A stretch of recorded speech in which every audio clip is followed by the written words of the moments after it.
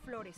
La procesión terminó en el Palacio Municipal, donde le pusieron un vestido de novia al reptil y celebraron la pintoresca ceremonia, donde no faltó el sagrado juramento. Comenzó la fiesta, donde todos bailaron con la lagarta al ritmo de música tradicional y con palmadas.